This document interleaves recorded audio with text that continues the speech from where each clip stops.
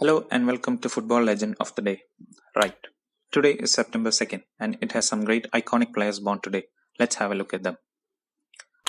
Javi Martinez. The first legend of the list is the current Bayern number 8 Javi Martinez. He is one of the few legends who have won the treble two times. He also won the World Cup with Spain in 2010 and the Euros in 2012. He started his career at Atletico Bilbao in 2006 as an 18 year old. He played as a defensive midfielder and has 251 appearances in six seasons with Atletico Bilbao. He finished the runner-up in the Europa League finals in 2011-12 season. In 2012, Bayern paid the buyout clause of 40 million in his contract and thus he became the transfer record in a 50-year history of Bundesliga. He played a major role in breaking the tiki-taka style of Barcelona, which involved his former teammates Xavi and Iniesta in the midfield in Bayern's 4-0 thrashing of Barcelona in the Champions League. At Bayern, he won eight consecutive Bundesliga titles. Other trophies include five DFB Pokal titles, Super Cups, and Club World Cups. Alexandre Pato. Pato is a Brazilian professional footballer who plays as a forward. He is currently a free agent, having most recently played for Sao Paulo. Pato began his career as a youth player for Internacional in 2000. Making his debut in 2006 at the age of sixteen, he went on to score twelve goals in twenty-seven appearances and helping them win the 2006 FIFA Club World Cup.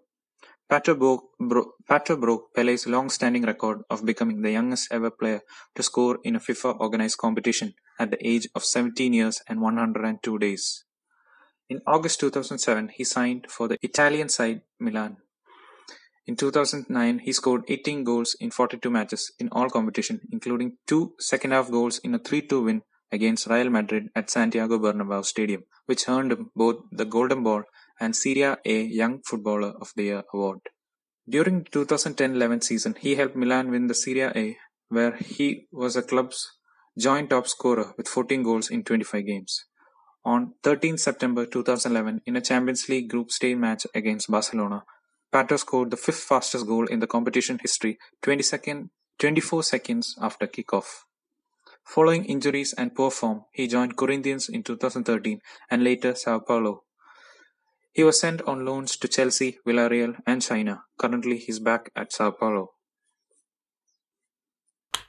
Carlos Valderrama Carlos Valderrama is a creative playmaker who is regarded as the greatest Colombian footballer of all time. His distinct hairstyle, as well as his precise passing and technical skill, made him one of the South America's most recognizable footballers in the late 1980s and early 1990s. He won the South American Footballer of the Year in 1987 and 1993 and in 1999. He was named in the top 100 players of the 20th century by World Soccer Organization. Valderrama was a member of the Colombian national football team from nineteen eighty-five until nineteen ninety-eight, he represented Colombia in 111 international matches and scoring 11 times, making him the most capped player in the country's history. He played a major role during the golden era of Colombian football in 1990s, representing his national side in three FIFA World Cups and five Copa America tournaments. He played mostly in the Colombian League. In 1988, he moved to the French side Montpellier. His passing ability saw him become club's most creative force and he played a decisive role in his side winning the Coupe de France in 1990. In 1991, he remained in Europe and joined the Spanish side Real Valladolid for a season.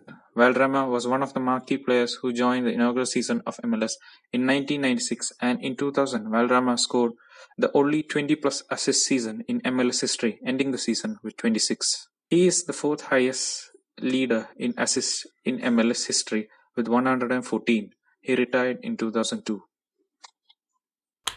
Frederic Kanouté Frederic Kanouté is a French striker who has played for a number of clubs like Lyon, West Ham, Tottenham and Sevilla. Unable to get a starting place behind Robbie Keane and Jermaine Defoe, he joined Sevilla in 2005, where he played for seven years.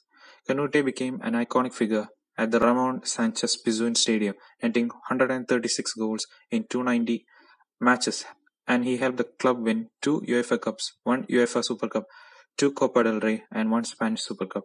In 2012, he left to play in China. In 2004, he changed his nationality to Mali and was the top scorer in the African Nations Cup. He won the African Footballer of the Year in two thousand seven. Marek Mintal. Marek Mintal was a Slovakian footballer. He started football in a Slovakian club MSK Žilina with whom he won back-to-back Slovakian championship in 2002 and 2003.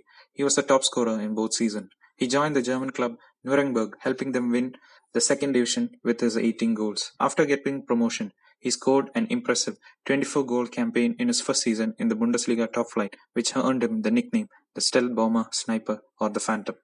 He won the DFB Pokal Cup in 2007. Savo Milosevic Savo Milosevic is a Serbian striker who has played in a number of clubs such as Aston Villa, Real Zaragoza, Parma, Celta Vigo, Espanyol and Osasuna. Over a course of his 16 years professional playing career, Milosevic scored nearly three-hundred official goals in just six-sixty appearances. At international level, Milosevic played for the national team of Yugoslavia, later renamed as Serbia, winning over hundred caps. Milosevic appeared in two World Cups and one European Championship, at which he won the Golden Boot in the Euro 2000. Now as a manager of his first club Partizan, he won the Serbian League in 2019. Joey Barton Joey Barton was an English midfielder who has two hundred and sixty-nine appearances in the Premier League, including one thirty for Manchester City. He has also played for Newcastle, QPR, Burnley and Rangers. He is most famous for his violent and aggressive playing style. He is considered as one of the most dirtiest players and is also well known for his violent conduct and behavior off the field. He is currently the manager of Fleetwood Town. Emiliano Martinez Emiliano Martinez is one of the current footballers who was born on September second. The Argentine footballer is currently the goalkeeper for Arsenal. He joined Arsenal in two thousand twelve and was constantly sent on loans for seven years. He was always considered behind Szczesny, Ospina, Cech and Leno. This season he made it into the first team after Leno was injured and won an FA Cup with Arsenal after a long, patient and emotional career. Bonus Bill Shankly Bill Shankly OBE, who is considered as the greatest Liverpool coach in the history along with Bob Paisley, was born on September 2nd. Shankly brought success to Liverpool, gaining promotion to the First Division and winning three First League Championship, two FA Cup and the UEFA Cup. He laid the foundation on which his successors Bob Paisley and Joe Fagan were able to build by winning seven league titles and four European Cups in ten seasons after Shankly retired in 1974. He received the British Order of Merit in nineteen seventy-four. He was the first person in the English Football Hall of Fame in two thousand two. He is well known for his good relationship with his fans. He was the person responsible for You Will Never Walk Alone anthem in Anfield. And he also brought This is Anfield sign in the Liverpool tunnel. He died in 1981. In 1982, a 15-foot Shankly Gate was built in front of the Anfield Road stand. In 1997, a seven-foot statue of Bill Shankly was made in front of Anfield. That's all for today. Thank you for listening. Hope you enjoyed the content. Please subscribe and support the channel and see you again in the next episode. Thank you.